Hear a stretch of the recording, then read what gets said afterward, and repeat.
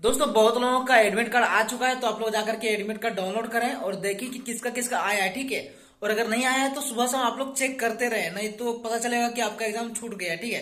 तो बहुत लोगों का एडमिट कार्ड आ गया है, जो मतलब पहला एग्ज़ाम चार से हम लोग का स्टार्ट हुआ था, वो आठ तक चला था, ठीक है? अब फिर से स्टार्ट हुआ है, अब फिर कितना दिन तक चलेगा, ठीक है? तो आप लोग अपना अपना एडमिट कार्ड डाउनलोड करें, ठीक है? और मैं आपको एक बात और बता देना चाहता हूँ, क्योंकि आज है सर संडे और आज मैं लाइव आने वाला हूँ। शाम चार बजे तो आप लोग जितना भी हैं, सभी लोग जुड़े। और जो जो भी आप लोग का प्रॉब्लम है, वो हमसे पूछे, ठीक है? सभी का मैं रिप्लाई दूँगा। लाइव में सभी से, सभी लोग को जुड़ना है, ठीक है? सभी लोग जुड़े। और मैं सभी का रिप्लाई दूँगा वहाँ पे, ठीक है? तो चलिए फिर मिलते हैं लाइव सेक्शन में डायरेक्ट